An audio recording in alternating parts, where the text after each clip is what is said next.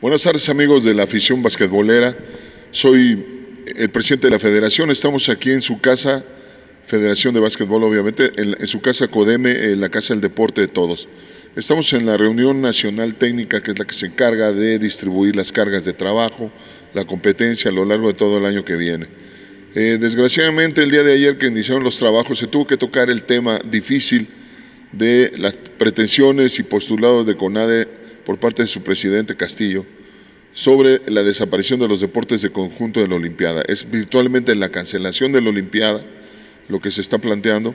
Se reduce a un solo año de competencia y solo se iban a aceptar los deportes individuales, obviamente sobres de marca, para reducir el número de individuos que concursaran o compitieran.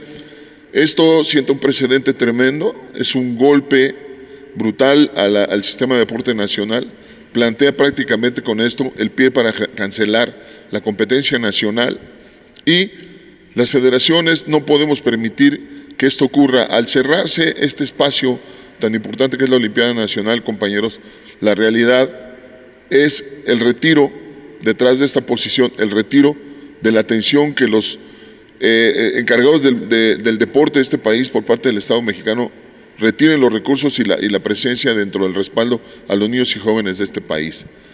Esto siente un precedente tremendo. Muchos compañeros eh, no analizan a fondo esta situación, pero afecta definitivamente el proceso de cuatro años de lo que implica el ciclo olímpico.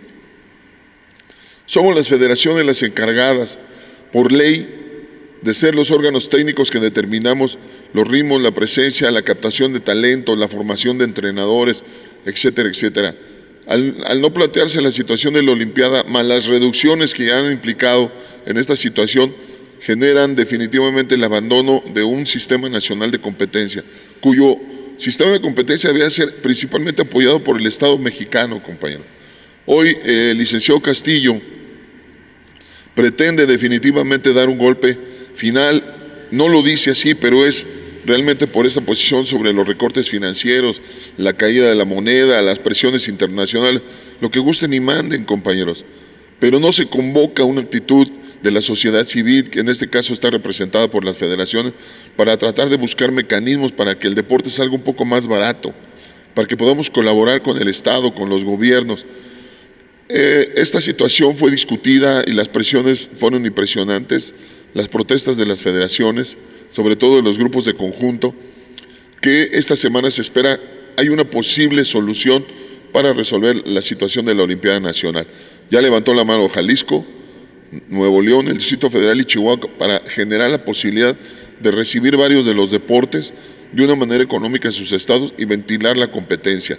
No estamos de acuerdo ni siquiera con que de dos edades que se manejaban se reduzca a uno, porque se está dando el pie. Lamentablemente el señor Castillo, en la entrega de premios nacionales del deporte, no nada más, mencionó esto, compañeros, sino que también afirmó que el año que entra ya no va a haber Olimpiada.